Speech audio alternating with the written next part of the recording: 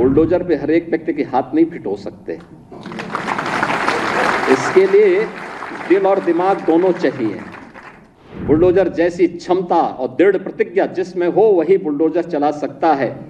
दंगाइयों के सामने नाक रगड़ने वाले लोग बुलडोजर के सामने वैसे पस्त हो जाएँगे।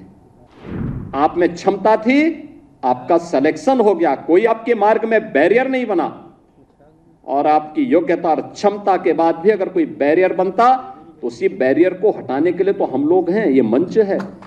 उसी बैरियर को हटाने के लिए हम लोग यहाँ पर आए हैं। और आगे भी हम इस बात के लिए आश्वस्त करते हैं प्रदेश की युवाओं को कि उनकी योग्यता और क्षमता के सामने अगर कोई बैरियर बनेगा, उस बैरियर को हटाएँगे, उस बैरियर को तोड़ेंगे और जो लोग फिर भी बेमानी और भ्रष्टाचार फैलाएँगे तो उनकी संपत्ति को कुड़क करके गरीबों में वितरित करने का काम भी करेंगे, कोई गुरेज नहीं करेंगे।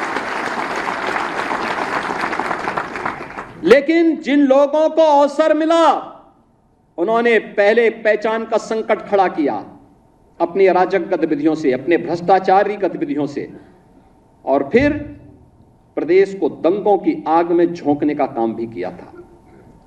प्रदेश के शांतिपूर्ण और सौहार्दपूर्ण माहौल को आपस में ही लड़ाने का काम किया। पहले जाति जाति को लड़ाया, फिर वर्ग, मत और मजहबों को आपस में ही भिड़ाने का काम किया। महीनों महीनों दंगों की आग में जुलसता रहा उत्तर प्रदेश। तो उत्तर प्रदेश जब शांति और सौहार्द नहीं रहेगा, कोई निवेश क्यों करेगा? विकास कैसे हो पाएगा? पहचान का संकट खड़ा होगा। हर तबके का व्यक्ति तबाह होगा।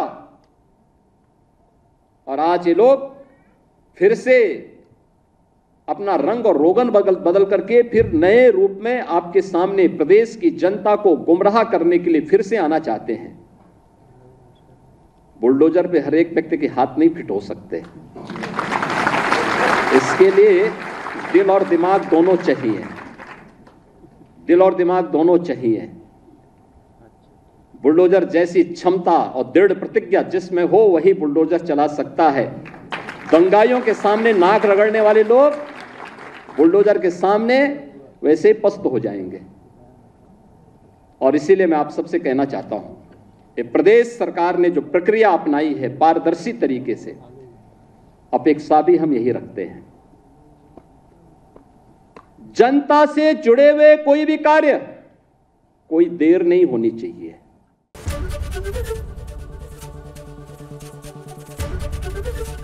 एबीपी गंगा, खबर आपकी, जुबा आपकी।